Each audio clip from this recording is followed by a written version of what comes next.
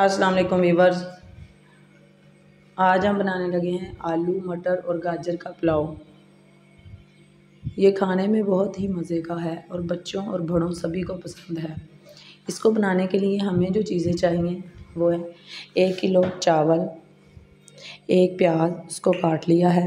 तीन अदर टमाटर, वो भी काट लिए हैं। साबुत, हरी मिर्चें, एक प्याली मटर, तीन अदर आलू जो हमने काट लिए हैं, तीन अदद गाजरें जो हमने काट ली हैं।